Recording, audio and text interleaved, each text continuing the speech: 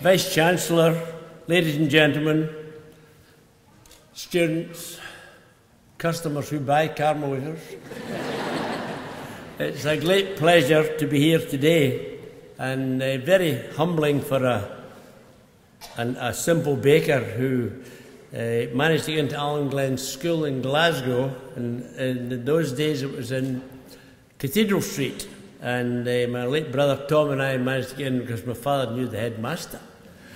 And we, I was there, Tom was there for two years and I was there for five years. And uh, I was so clever that they allowed me to repeat the second year.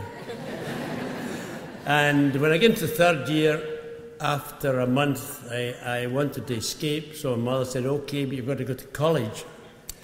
So in those days, the, there was the West of Scotland College, it was full, and uh, the only college I got into was Whiteley's College in Jamaica Street and it was five floors up, and I was studying bookkeeping, typing, shorthand, various things. And after I got a certificate for eight words a minute, my mother thought it was time I was leaving and typing. So I then went to the bakery, and they say that's how things go. Little did I think today I would receive this degree from the university I'm Humble Baker, I'm pleased to receive this award, and any award you give me, I'm delighted.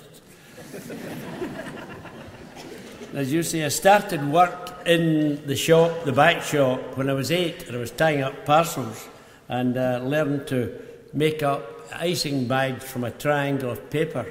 And you turn it around about, pop it in the centre. We're still making bags to that same idea today as they are all bakers in Scotland and all over the world. Anyway, I was in the bakery and I went to the night schools you heard for five years and managed to win a, the, the cup, which uh, was the Baker's Cup. I won it in 1950 and it was actually divided between myself and another a apprentice from our bakery, Archie Fleming. And it was only 10 years ago that I received a message from a uh, lecturer at the college up at Motherwell to say, we've been cleaning out a cupboard and there's an old cup here with your name on it. Would you like it? And I was astonished to discover actually I'd won it in 1954 as well. But of course, I was away fighting for your better deal, you know, and I was there in the army. And uh, anyway, anyway I've, got, I've got this cup in the office and I treasure it as I'll treasure this degree of I've risen to today. I never thought I would rise to such great heights. And if I turn the page here, maybe see what I'm doing. and we're in the army, they came back from the army, and father then said I was, I was five years a baker, two years a, a, a cook, and I was actually cook sergeant for the last, acting paid cook sergeant for the last six months.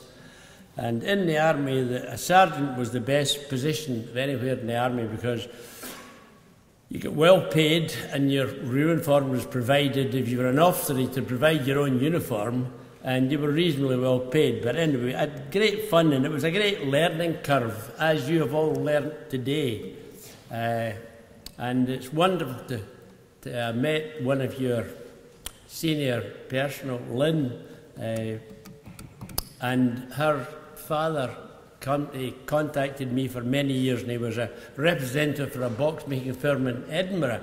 And uh, Lynn Colbride, name came back to me, that's yes. And it was lovely to see here she is, and she's giving her skill to the younger generation.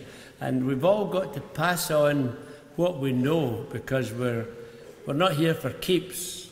You know, I've got a long way to go yet. I'm only 83, and uh, looking forward to getting a telly on from the Queen when I'm 100. So, anyway, but anyway, the, the best advice I could give to the young people graduating today is if at first you don't succeed, try, try, try again. And friends, thank you and good luck for the future. And there's a wee poem that goes something like this Life's too short for greeting, or friends you can't. So leave it be and start again. The world's not going to end. You have time to plan so many things. All depends on you. So shake yourself, you racket loon, go up and do it now. Thank you.